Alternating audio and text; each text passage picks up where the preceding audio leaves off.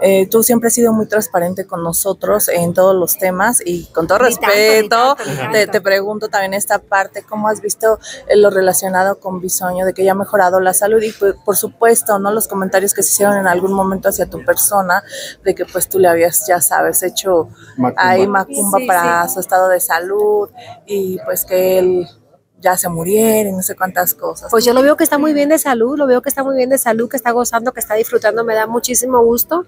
A ver si el que salió a decir que yo le hice brujería en contra, que ahora salga diga que le hice brujería a favor, de favor. El que salió a decir que, le, que los llamó a ustedes los medios para decir eso, pues que ahora salga y que diga que ahora la macumba cómo estuvo, porque lo veo que está muy bien y cosa que me da gusto. Esa amistad eh, definitivamente ya no se Ay, recupera. no, imagínate, pues no. Es como que me hablaras de que, oye, ay, con tu primer esposo te tomarías el café como para que ya no tengo nada que hablar con él. Digo, no fue mi esposo, pero bueno, ya lo pasado, son relaciones pasadas, ¿no?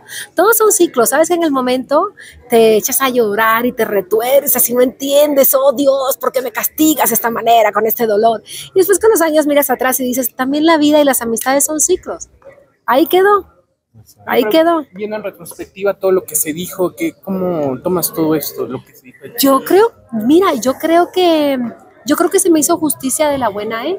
Y yo creo que fíjate que la Casa de los Famosos, sin pretenderlo, porque para mí fue un trabajo, eh, yo creo que la, la Casa de los Famosos me, la gente me pudo ver que, pues, ¿cómo soy? Tú estás viendo ahora a los participantes, se les sale, la gente cómo es, no puedes evitarlo. Entonces siento que a mí en ese sentido la Casa de los Famosos, porque cuando salí tenía muchos seguidores nuevos y mucha gente diciéndome, oye, qué mala onda que, que sí llegamos hasta creer que había sido cierto, que tú habías de- destapado la sexualidad de este chavo y tal. A mí qué, si todos son bienvenidos a mi casa, yo, yo jamás este, he discriminado a nadie ni me ha importado. Eh, esa no es mi chamba, sacar a nadie de ningún cuarto, de ningún closet, de ninguna ventana. Es más, ahorita cuando estaban en la casa de los famosos hablando, si viste, lo decían, yo dije, uy, estos qué anticuados, o sea, qué anticuados y qué mal se vieron, estar cuestionando si a alguien le gusta el hombre, la mujer o el, lo que le guste. Eso no es problema de nadie, más de cada quien.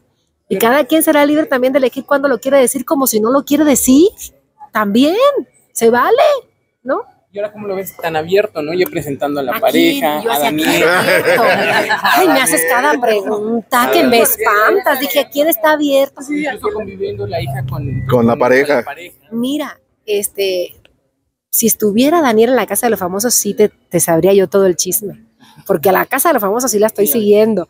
Este, de lo que veo de repente en redes, lo que me llega, lo del algoritmo y tal, ¿no? No sé exactamente si es así como tú me dices, no lo sé, pero si es así, qué bueno. Si eso lo hace sentir más en paz y más contento, pues bienvenido. Yo creo que tienes que hacer lo que te haga feliz. Yo creo que es muy importante cuando te pones tu cabeza en la almohada, ¿no? Eso es, eso es padre de decir, estoy contento con lo que estoy haciendo. Como si tienes a tu amante y también estás feliz de, de esconder al amante. O sea, todo se vale, cada quien. Pero si es así, pues qué bueno. Lo que sí de veras que me dio gusto, sí, sí, sí vi cuando salió del hospital que estuvo muy mal y luego ya lo, lo vi que está muy bien, que regresó al teatro y todo. Y la verdad, mira, me da gusto. Yo creo que todos merecemos vivir y las oportunidades, o sea, tener salud, yo creo que es, es como lo más preciado. Si yo ahorita que pasé con un temita de hormonas, algo leve, natural, normal de la mujer, ay Dios mío, de repente dices, Dios, hasta que ya, ya sabes todavía, pero fíjate que sí me, sí tengo una deficiencia hormonal, normal, pues acabo de cumplir 50. Aunque hagas ejercicio, no tomes y, y este, pues y duermas tus ocho horas, mismo. llega un momento donde las hormonas dicen ya no te las voy a produ- a reproducir, no te las voy a producir, ya no te las voy a, el, el cuerpo ya no las genera.